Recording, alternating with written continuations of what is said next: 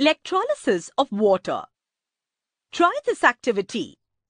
Dissolve 2 gram salt in 500 milliliters pure water. Take 250 milliliters of this solution in a 500 milliliters capacity beaker. Connect two electrical wires to the positive and negative terminals of a power supply.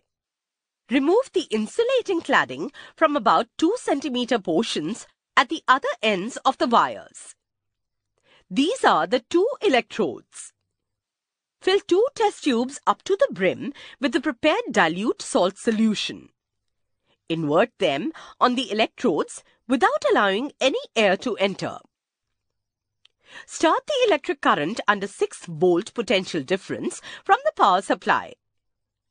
Observe what happens in the test tubes after some time. 1. Did you see the gas bubbles forming near the electrodes at the test tubes? 2.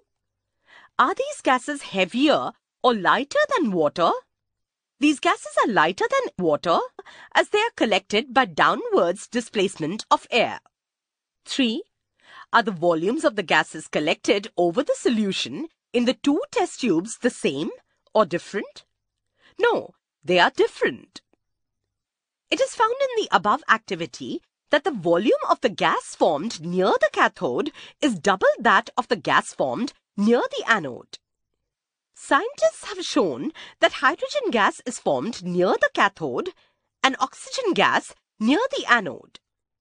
From this, it is clear that electrolysis of water has taken place and its constituent elements have been released.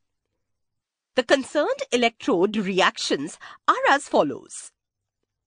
Cathode reaction 2H2O liquid plus 2 electrons gives H2 gas plus 2OH minus aqueous.